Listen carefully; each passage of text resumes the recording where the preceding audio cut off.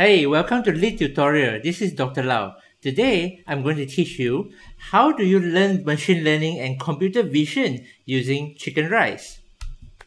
So it all started when I gave a talk in KL lately about how do you replace AI before AI replace you. One other thing that I mentioned during the talk is quoting Andrew Ng saying that anything that takes you about 1 to 2 seconds of thought can be soon be replaced by AI. So the example that I showed here was a simple task where everybody can relate, which is to train a machine learning model that is able to classify between steamed chicken and roasted chicken. And then, right after the talk, many people start to inbox me and say, Hey, Dr. Lau, is that chicken rice example for real? Or can we use it for something else with the machine learning and computer vision model? So that's what motivates me to create this tutorial and to show you what it can be achieved. Now you have probably seen other online tutorials that teach you how to recognize handwriting digits or to recognize flowers using the iris data set. What I will be showing you here is how to create a machine learning model with computer vision using OSEMN Framework. So if you have not heard about OSEMN Framework or you need a refresher, click the link on top or you can find the link inside the description as well. So let's get back to the topic today, which is how do we classify chicken rice using machine learning and computer vision algorithms? Just like any other data science project, the first thing that we need to do is to clearly define our problem statement. The goal here is to train a machine learning model that's able to classify between roasted chicken and steamed chicken. This is also what we call a classification task in supervised machine learning model which we will use the training data to predict the class or label of a particular given image. Next, we are going to start with the first step of our OSEMN framework, which is obtain data. I followed the recommendation of the blog post and that leads me to the Instagram page of kuey.png which is pronounced as kuepeng, which literally means chicken rice in Hokkien. The owner of this Instagram account eats a plate of chicken rice every day for 400 over days. And every day when he eats the chicken rice, he will take a picture of it and upload to Instagram. I then download a Python script from GitHub called the Instagram Scraper. And then that helps me to download all the images of the chicken rice into our local folder. And this is how it looks like. Next, we're going to clean our data and label them manually as steam or roasted chicken as our ground truth. Labeling ground truth is an important task in machine learning and also computer vision, as we need to ensure that the training data is of high quality so that when we feed into our machine le learning model, it will achieve the best performance. That's why Google has been asking us to do their job for them, alright? Also, to ensure the quality of our training data, I've engaged the help from two other colleagues to vote for the chicken rice label. So only when three of us voted the result unanimously, then we will label it. Now, most of the pictures are fine, right? As you can see, well lit, good composition. Oh well, after all, it's the Instagram of chicken rice, right? There are not that many situations where none of us are unable to tell whether it is a roasted chicken or steamed chicken. Even in a very critical example like this, this photo was probably taken when he was very hungry, but still we are able to tell that this is a packet of steamed chicken rice. There are certain cases where he was in a very good mood and he put in a lot of chili sauce on his chicken rice, but we all agreed that this is fine because we can still easily tell that the one on our left hand side is the steamed chicken and the one on our right hand side is roasted chicken. We also debated that as a training set, the color histogram of these images might affect the performance of our training data. But still, we included it because we want to make sure that our system is robust. After all, we're trying to teach the machine to see things like how humans see it, right? The obvious cases of chicken rice images that did not make it to the database are something like this. Now, they are either a mix of roasted chicken with steamed chicken or they're chickens but they comes with other protein like char siu, barbecue pork, or siu yok, the roasted pork. So these are the cases where we excluded them in our training data. Also, there are a couple of images that looks like this where it's neither a steamed chicken or roasted chicken. It's in fact a braised chicken. But because there are too little training images here that we are able to classify them into a separate class, so we decided to drop them for now. After we have done our labeling, let's proceed to explore our data. Inside our dataset, we have 285 images of roasted chickens, which takes up about 63%, and 162 images of steamed chicken, which is about 37%. Now, usually in data science or in machine learning, this is uh, quite a common scenario where we usually have a little bit more data of uh, certain classes. So this is something that we need to take note of. Usually in image processing, We'll look at the size of the images and also does it require other normalizations. As our goal is just to classify between the two types of images, other information like when the photo is taken, the descriptive statistics are relatively less important in this case. As we have done most of the inspection during our scrubbing stage, we can now move on to the modeling stage straight away. Now first of all, let's go to the Google Cloud platform and create a new project. So let's say I want to call it chicken rice. Right, let's create the project. Then once the project is created, let's go to our project and let's go to the very end, choose the vision. So we are going to use the Google Cloud Vision to create and train our own model to recognize categories that we've defined. So let's get started with AutoML.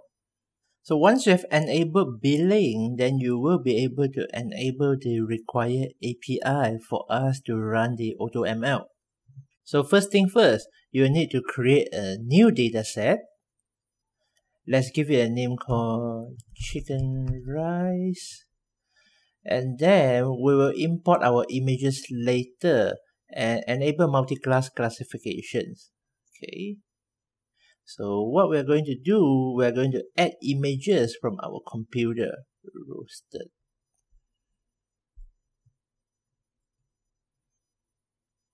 So let's wait for a while while it's uploading the images of roasted chicken. So once we've done that, we need to add labels to label our images. So first of all, let's create a roasted. Next, we're going to create another label called steam as well. Okay, after we have created our labels, let's select all images and label it as roasted. Once the labeling is completed, we're going to add more images. So this time round, we're going to add images from our steamed chicken.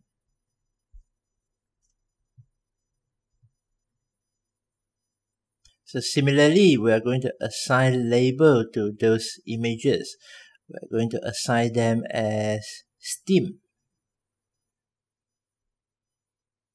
Okay, so once we have done the labeling, just double check we have both our steamed chicken and also our roasted chicken labeled correctly. So what we're going to do next is we're going to train our model. Alright, so Google will tell you that you have enough images to start training and they require at least 100 images for each of the label. And this is the reason why previously when we have some of the other images like braised chicken, we can't do it because we don't have that many training images in our dataset. So let's start training. Okay. This process is going to take a while, like it says here, it can be 15 minutes to several hours, but as soon as it's finished, you will receive an email. So for now, you can sit back and relax. Alright, so now the model has been trained successfully, we can take a look at the performance uh, usually in practice, we will look at the performance and then uh, fine tune our model. So we will we will work on the modeling for, for a little bit. Now assume that we look at the results and we're happy with our model right now, and that will bring us to our next step, which is the interpret stage. AutoML is kind of magical because it helps you to abstract a lot of the complexities in terms of machine learning and especially in the computer visions. Now, uh, a lot of people who do not have technical skills or even data science skills, this is a very good starting point so that you get to uh, experience the entire workflow and process of how data scientists actually build a machine learning model. Of course, in practice, we will use uh, our own features and uh, customize our machine learning models, different type of classification algorithms, etc. During the evaluation of a classification task like this, we usually look at two metrics. Number one, the precision, and number two, the recall. So a model with high precisions will produce fewer false positive, while the one with higher recall will produce fewer false negatives. So let's look at the full evaluation to understand what it really means. So what precision really means is that for a particular class, how many of those that are classified are classified correctly. So for example, if we look at roasted chicken, the precision is 94.1%, meaning that for those pictures that are identified as roasted chicken, 94.1% are identified correctly. Uh, on the other hand, recall look at the number of the images that can be retrieved successfully, meaning that 100% of the roasted chicken are retrieved successfully. So let's look at the false positive here, right? Uh, the model predicted roasters for these images when it should have predicted as steam. So these are the two images that we know. This one probably because it's too blur and this one is because of the amount of chili sauce on top of it. So it sort of affected the judgment of our machine learning algorithm. So let's look at the performance of the label steam. So as we can see, the precision for steam class is 93.3%, which is not too bad. Uh, but the recall of the steamed chicken is not as good. So there are a lot of steamed chicken images cannot be classified correctly. So let's look at the images, the false negative. So the model predicted steam correctly for these images but scored less than 0.5.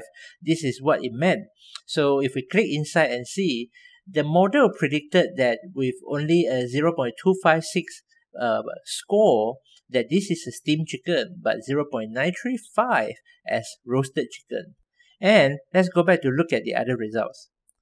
So false positive, uh, the model predicted steam for those images, but it should have been roasted chicken.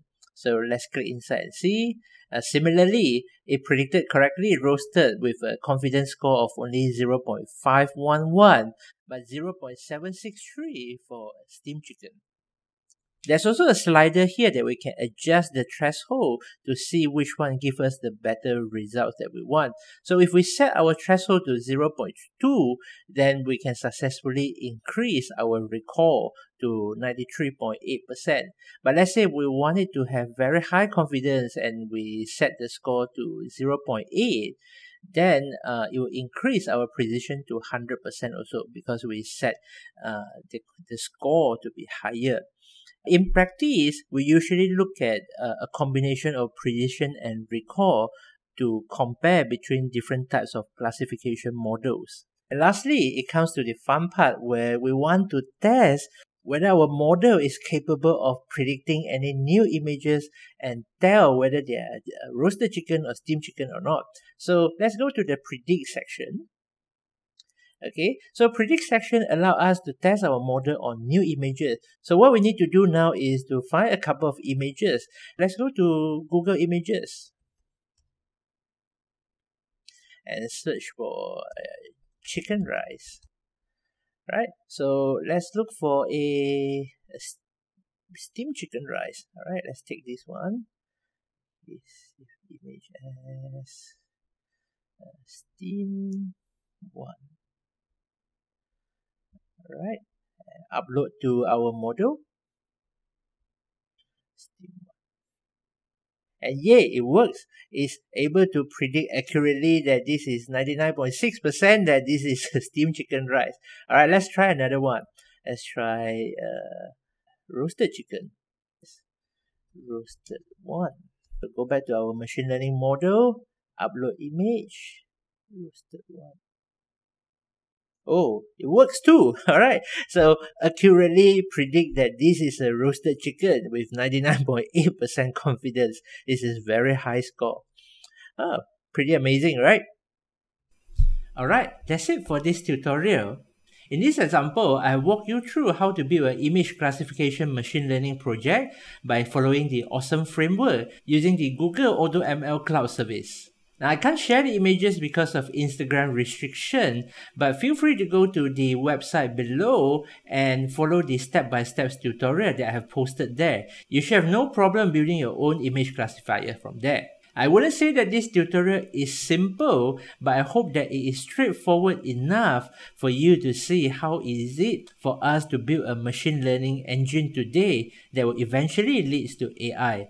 Like really like what Andrew says that anything that takes us about one to two seconds of thought will be eventually or soon be replaced by AI.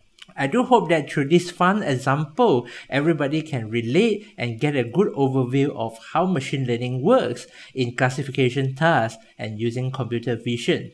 After all, food is what connects people, right? In practice, we do use the same techniques for other use cases. For example, I have used it before to monitor the growth of crops when I was in Microsoft e-research center. Now think about it, machine learning is really not that far from where we are right now. So if you want to become a data scientist or machine learning engineer, you should really learn about it. Even if you are not, everybody should still learn and understand how machine learning works so that it can be used to improve our business processes and automate daily tasks in near future. Now do check out our other videos to learn more about data science and machine learning. And if you want to pursue a career in data science, check out our flagship Data Science 360 program we will cover a lot more in depth in different aspects in machine learning, such as feature engineering, uh, unstructured data, and also deep learning. Thanks for watching. Don't forget to subscribe to our channel and receive notifications for future videos and tutorials like this. Now, share this video with your friend who is also learning machine learning. Thank you, and I will see you in the next tutorial.